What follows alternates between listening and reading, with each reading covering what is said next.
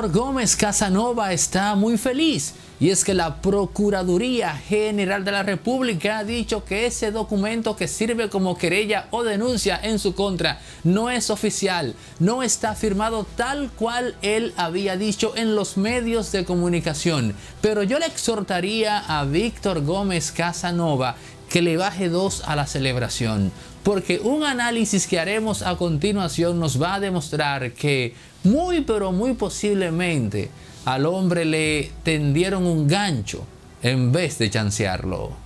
Luis Abinader ha dado un viraje brusco hacia China. Y esta acción sorpresiva esconde algo que te vamos a revelar a continuación en este capítulo. ¿Qué motivó? ¿Cuál fue, digamos, la razón de peso que hizo que de repente Luis Abinader entrara en amores con el gigante asiático y le ponga las cosas en China a Estados Unidos.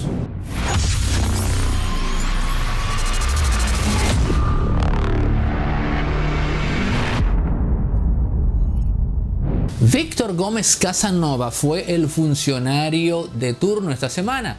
El doctor Gómez Mazara, así como hizo con Adán Cáceres y otros, llevó un expediente que mostró en los medios de comunicación en donde se hablaba incluso de una nómina paralela al más puro estilo de lo que hizo Núñez de Asa y Adán Cáceres y lo que se denunció en la operación Coral. Ahora bien, cuando Víctor Gómez Casanova sale en su defensa, lo primero que señala es que ese documento se le puede tildar de apócrifo porque simplemente no tiene firma no tiene sello de la Contraloría General, pero tampoco tiene anexo los documentos que sirvan de sustento a las acusaciones que se hacen allí. Bueno, amén del papelazo, en verdad, que hizo Víctor Gómez Casanova en el despertador, cuando se le preguntó sobre los helados, sobre las pizzas y sobre el tema de los pagos de iTunes, Amazon, Spotify,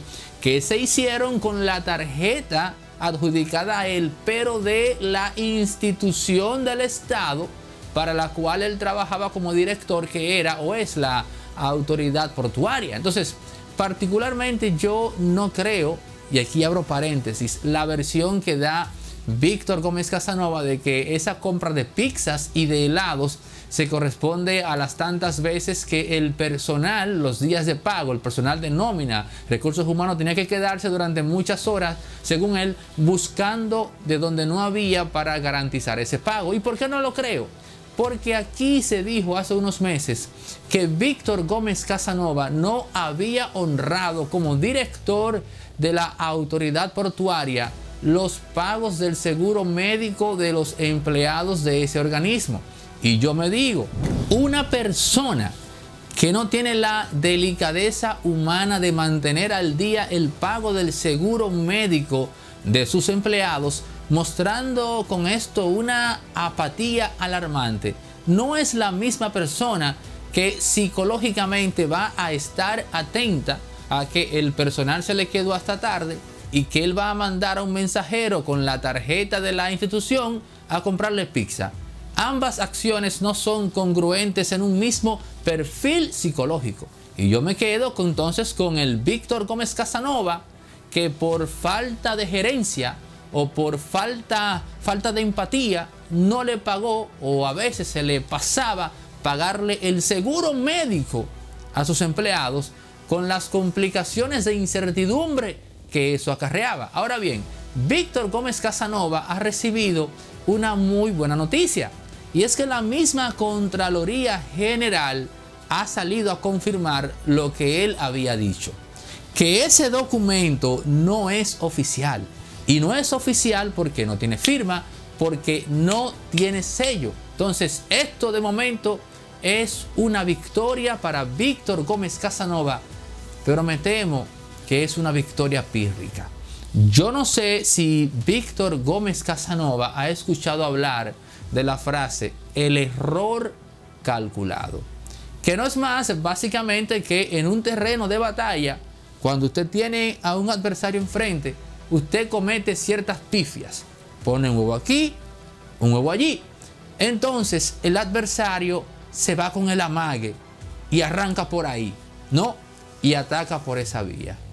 Tengo la impresión de que el doctor Gómez Mazara, y esto no lo digo queriendo sobreestimarlo sin necesidad, pero lo que huele mi olfato político de analista es que precisamente el doctor Gómez Mazara está utilizando con Víctor Gómez Casanova la estrategia del error calculado.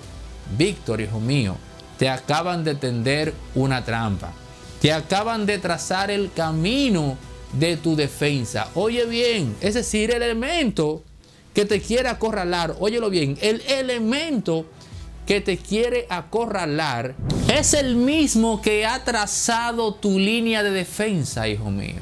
Entonces hoy sale la Contraloría diciendo que en efecto el documento no es oficial. Pero resulta que para que sea oficial solo necesita una firma, solo necesita un sello. Yo no sé si tú te has percatado de que te estás incriminando. Porque tu defensa debe ser frontalmente, lo que dice ahí es mentira. No que ese documento carece de validez porque no está firmado o sellado. Porque eso es el equivalente a decir lo que, o admitir intrínsecamente, lo que dice ahí es cierto, pero no tiene validez porque el organismo del lugar no lo ha firmado. Hijo mío, pero mira, una firma, pásame un lapicero por favor, una firma ahí, pásame ese lapicero, ese, ese, una firma. Mira, Víctor Gómez Casanova, qué fácil es. Si tu problema es una firma, mira, uh, ya, listo. Si esa es tu gran coartada, hijo mío, mira cómo se desvanece en no menos de tres segundos. Una, una firma, Víctor Gómez Casanova te han tendido un gancho, hijo mío. Te estás defendiendo de lo que te acusan en el contexto que te han brindado. Por eso, aunque parezca que a Víctor Gómez Casanova lo han chanceado, un análisis nos da a entender a que es todo lo opuesto a eso. Ustedes verán el giro que va a tomar ese caso esta semana. Te digo ahora, ustedes verán el giro que va a tomar ese caso esta semana.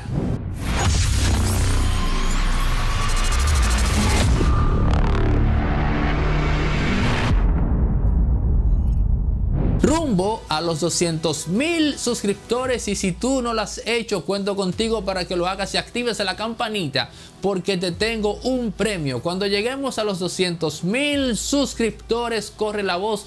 Vamos a liberar una película en premiere que vamos a exhibir en esta plataforma. Una historia de corrupción chantaje y extorsión al más puro estilo de cómo ocurren las cosas en República Dominicana. Ese es nuestro premio para ti. Cuando lleguemos a la, de momento, la mítica suma, pero al mítica cifra, pero alcanzable de los 200 mil suscriptores. ¿Por qué razón el presidente Luis Abinader ha dado un viraje brusco hacia China? Bueno, pues por una razón que él no te va a decir a ti, que la oculta, pero que sí te la vamos a exponer de inmediato. Miren, señores, no hay cuarto en el país. No hay cuarto en el país, no hay dinero. 590 millones de dólares en poco más, poco menos de un mes es razón o prueba suficiente para saber que el país está casi en bancarrota.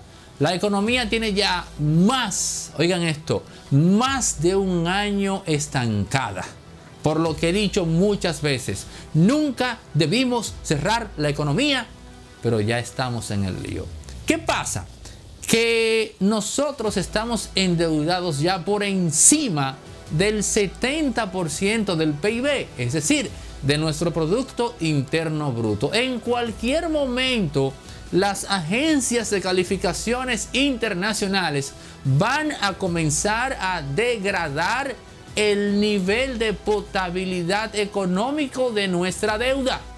Y eso al mismo tiempo va a provocar una reacción en cadena en los mercados mundiales, es decir, la gente que presta fuera, para comenzar a restringir el capital prestado a colocar en nuestras manos. Y Luis Abinader, que sabe perfectamente de eso, está previendo que en cualquier momento nos comiencen a sacar en cara que ya estamos endeudados en un 75, en un 80, en un 85 y dejen de prestarnos dinero.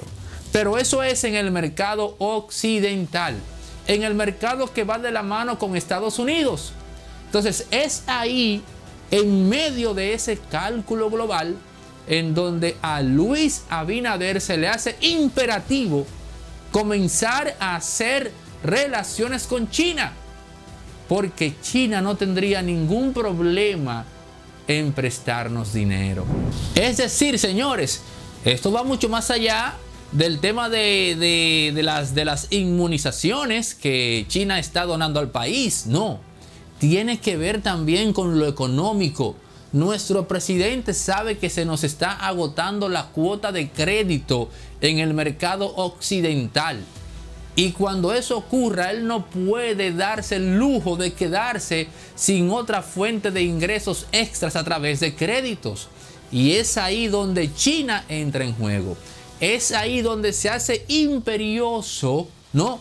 Tener buenas relaciones con el gigante asiático. Mientras Estados Unidos como respuesta a nuestro viraje como país hacia China, lo que hace es que aumenta a 4 el nivel de alerta sobre República Dominicana, con lo cual mengua drásticamente el ingreso de turistas y afecta a su vez la economía local, una maniobra con la cual Estados Unidos pretende hacer que República Dominicana recule. Pero Luis Abinader va por el otro lado, porque él sabe que en cualquier momento el mercado occidental va a dejar de prestarnos dinero. Pero China anda en eso. Señores, China está actualmente endeudando a toda América Latina. Lo lamentable de eso, y esto es algo que no le van a decir, es que la tasa de interés de los préstamos chinos, con todo y que son comunistas, las tasas de interés, señores, de los préstamos chinos son más altas que las del Banco Mundial. Paradójicamente son más altas que las del Fondo Monetario, que las del BDI, etc. Son las, las tasas, si se quiere, más altas del mercado global. Y eso nosotros, al igual que otros países de América Latina, vamos a tener que fumarnos esas altas tasas de interés en el momento que comencemos a tomarle dinero prestado a China. Ahora bien, ustedes quieren saber cuál es la paradoja de todo esto. China nos va a prestar en dólares. ¿Y China acaso fabrica o produce dólares? No. Oye, oigan esto, señores. Oigan la paradoja, la ironía de la economía y de la historia. Los dólares que China nos va a prestar a la, más alta tasa de interés del mercado son dólares obviamente norteamericanos que se producen fruto del superávit de la balanza de pago de los negocios que se hacen entre China y Estados Unidos. Es decir, que nosotros en la práctica iremos o caminaremos el camino más largo para conseguir los dólares más caros del mercado. Se nos está agotando nuestra capacidad de crédito en el mercado global. Ya estamos por encima del 70% del PIB. Y eso es lo que obliga a que Luis Abinader haga ese viraje hacia China. No es solo un asunto de, las inmunizaciones, que, que, por cierto, eso de que, de que son donadas, yo no sé, no me queda claro. No, no es solo eso, es dinero, señores. Es el dinero los millones de dólares que dentro de poco ya no nos prestará el mercado occidental.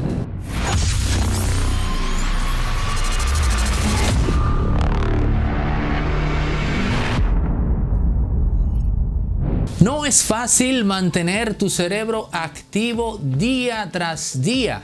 Nosotros, eh, un servidor en particular, lo hace con mi café, lo tomo amargo en la madrugada. Te recomiendo que lo hagas durante una semana para que veas cómo tu fisiología comienza a cambiar, para que sientas cómo tu cerebro se hace más activo, más ágil. Es justo lo que necesita un emprendedor para, digamos, afrontar su día. Una taza de café tibio, amargo, para que sienta el efecto de lleno en su cuerpo. En mi caso yo uso mi café. Tengo siempre que escoger porque son cinco sabores, avellana, caramelo, vainilla, chocolate y el sabor natural. Dejo el número en pantalla ahora mismo para que tú también compruebes y pruebes un sabor de café no solo diferente, sino también mejor. Mi café.